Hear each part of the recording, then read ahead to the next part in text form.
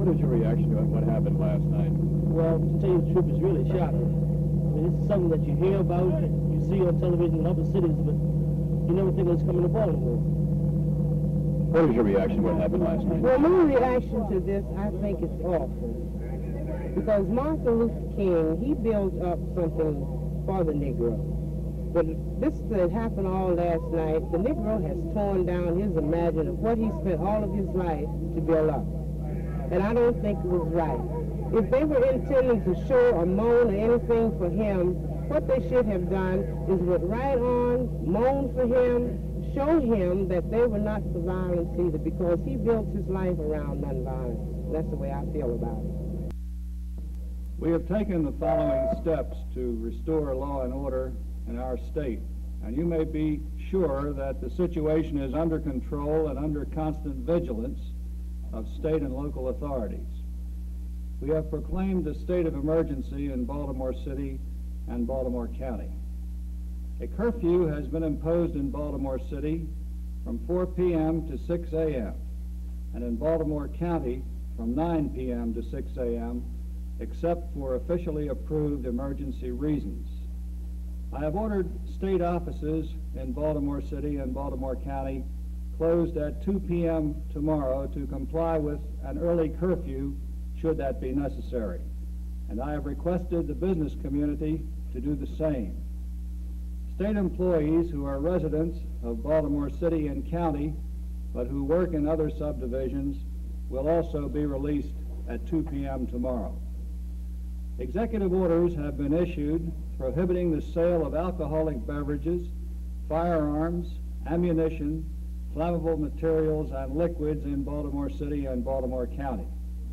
The sale of alcoholic beverages is also banned in Anne Arundel and Howard counties.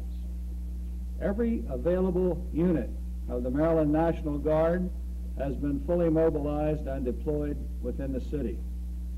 In addition, at 611 this evening, I requested federal reinforcements to further secure the city. Attorney General Ramsey Clark agreed to immediately dispatch the troops. They should now be taking positions in the critical areas.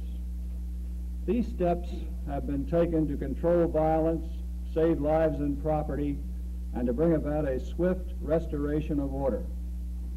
I want to commend the overwhelming majority of our citizens, white and black, who have remained calm in these hours of crisis.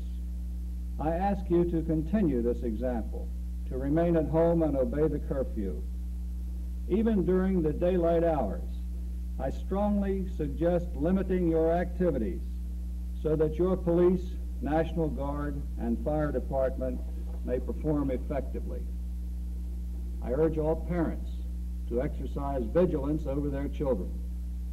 In the affected area, much of the lawlessness to date has been caused by unruly and unsupervised youths. Other youngsters whose conduct has been responsible and admirable could be endangered even by the most innocent sight sightseeing. To all who have been victimized, I pledge to you that all possible power will be exerted to restore order and security to your lives and to assist those made homeless by fire.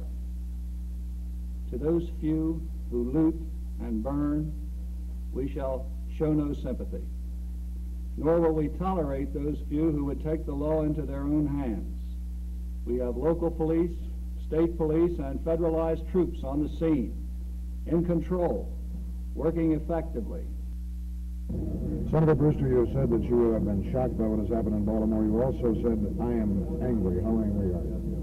Well, I'm saddened and angered by what has happened. We've marked the death of a man of peace, a man of goodwill with colossal violence, destruction, and death. I would insist that law and order must prevail, and I'm, of course, angered by the needless, silly, stupid destruction that I've seen in both Washington and Baltimore. I never believed this could happen in our nation's capital or in my city. Senator, as we all know, it has happened. Will the Negro use this as a, as a whip to goad Congress into precipitous action in the areas of civil rights? I do not know what Congress will do, and of course I wouldn't think any responsible body would ever respond to a whip. but I don't like to differentiate the non-white community. All responsible Americans must deplore what has happened. There are a few vicious people and some misguided youths that have turned the death of a, a fine man into a carnival of destruction.